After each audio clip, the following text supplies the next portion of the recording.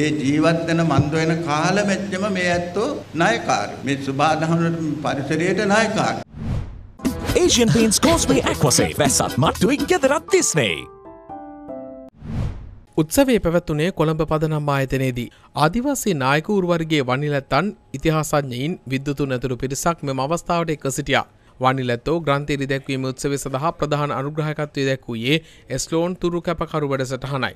එහෙමනම් ඔය ඇත්තෝ අම්මිලැත්තෝ අප්පිලැත්තෝ වයසට මංගච්ඡපුවම ඒ ඇත්තෝ ළඟදනේ තිබාගෙන ඒ ඇත්තන්ට බෙහෙත් වෙන නෝ කලනවා කැවිල්ලාන් නෝ කලනවා ආරක්ෂා කරන මන්දු කරගන්නවා මේ මේ ඇත්තෝ කෝණ පොජ්ජ 100ක් ජීවත් වෙන මන්දු කරපු මේ සුබාදහමට මේ ඇත්තෝ මේ පරිසරයට මොන එකද මන්දු කරලා තිබෙන්නේ? ඒ ජීවත් වෙන මන්දු වෙන කාලෙමෙච්චම මේ ඇත්තෝ නායකාරයෝ මේ සුබාදහම පරිසරයට නායකාරයෝ ඉතින් මේ ණය ගෙවන් ගෙවුම් පුජ්‍ය මන්දු කරගන්න නම් එකමක් තමයි මේ ඇත්තෝ ජීවත් වෙන මන්ද වෙන කාලෙමෙච්චි මේ ඇත්තන්නේ අත්පොජ්ජෙන් අඩු තැනෙන් පැලයක්වත් හිතුම් පොජ්ජ මන්දු කරන්න. අපි දඹානේ වණිලැත්තන්ගේ ප්‍රදේශයේ පැල හිටවනවා අපි. හුඟක් වෙලාවට අපි වණිලැත්තන් තමග මේක සාකච්ඡා කරපුවම එතුමා කිව්වේ ඖෂධ ගස් තමයි මහත්වෝ අපි හිටවන්නට ඕනේ කියලා. එහෙනම් අපි පළමුවෙන්ම ඖෂධ ගස් හිටවල ඊට පස්සේ රටේ අවශ්‍යතාවයන් අනුව නොයෙකුත් ගහකොළ මේ රටේ ඉදිරි පරම්පරාවට දකින්නට